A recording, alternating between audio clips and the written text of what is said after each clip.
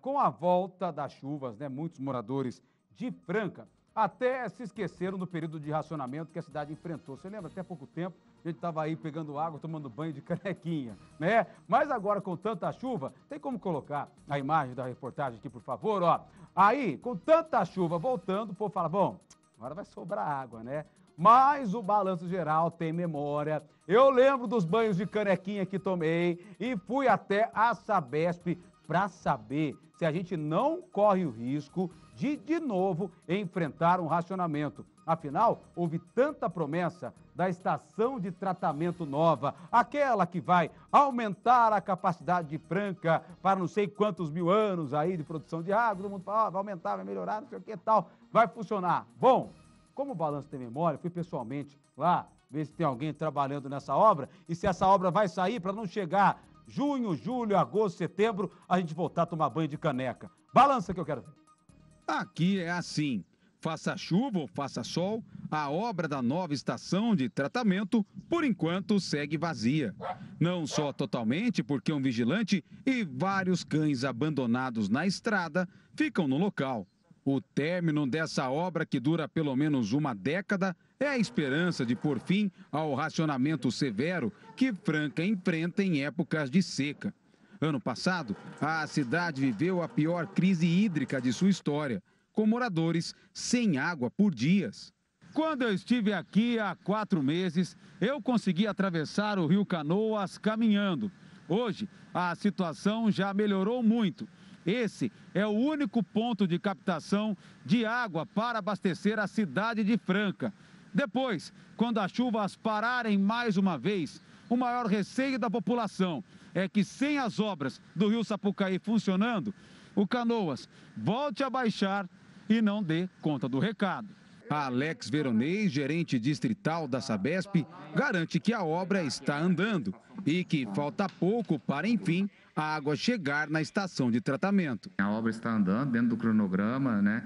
E tudo indica, a Sabesp está é, fazendo todos os esforços necessários para que nessa estiagem agora de 2022 essa obra já esteja em operação na região sul da cidade.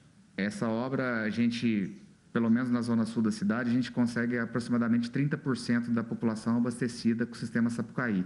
Isso seria suficiente para a gente enfrentar uma crise, né, como foi a crise do ano passado, sem a necessidade de racionamento. A conclusão total ela deve finalizar no, no próximo ano, né, com 100% das obras concluídas e é, a partir desse momento, a, a, estimativa é 40, 50 anos de tranquilidade em relação ao abastecimento público da cidade.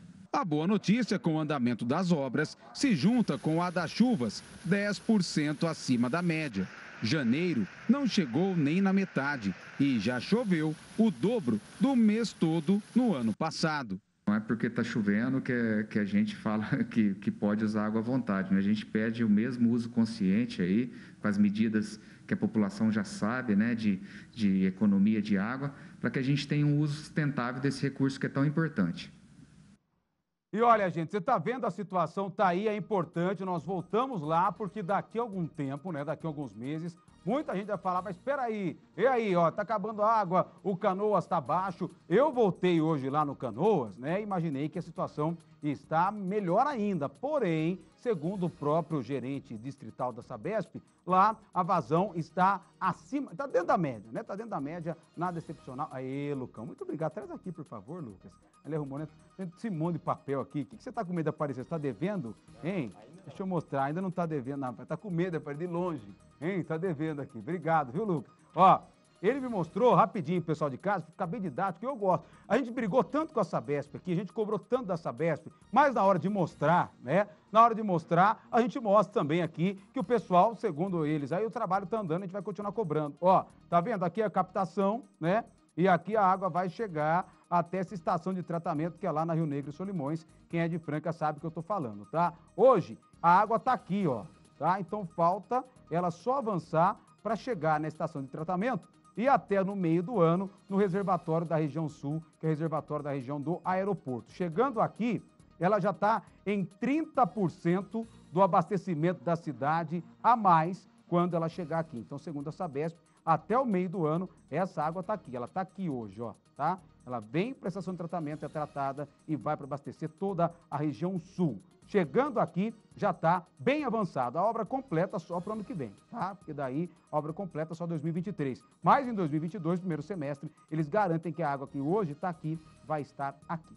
Beleza? A gente vai ficar cobrando porque tem que passar, tem que tratar e aí tem que chegar. Achei bem didático aqui esse desenho, porque eu entendi bem e o pessoal de casa tem certeza que também já são 30% a mais de água chegando para abastecer Franca do Rio Sapucaí. Hoje não chega nada do Sapucaí, né? Então, muito obrigado, dona Patrícia. Quando nós cobramos lá na estiagem da Sabesp, né, a obra estava parada, agora a obra voltou a andar, a gente está de olho, acompanhando e, claro, junto com a Sabesp, para que a gente não fique sem água no meio do ano.